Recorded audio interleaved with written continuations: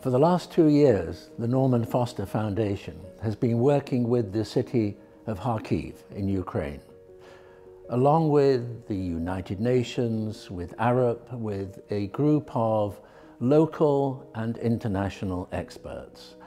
This is a master plan for the future regeneration, the city of the future. It was at the request of the mayor that we brought together a team on a bottom-up approach involving uh, the local citizens through referendums, through questionnaires, um, and an important part of the master plan is the regeneration of the residential, reinforcing the nature of neighbourhoods and acknowledging that some 75% of the housing stock is Soviet-era precast concrete apartment buildings. But with a, a sense of place and respecting that, the challenge is to regenerate these homes, to create a greater sense of neighbourhood through master planning, to improve the quality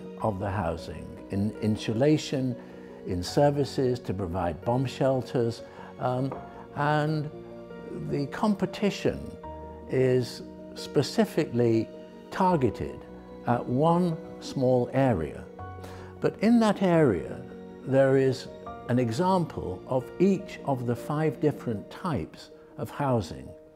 So the feedback from this competition could inform not just the rest of the city of Kharkiv, but also other cities throughout Ukraine. To that end, we have brought together a jury of locals and worldwide experts from different disciplines.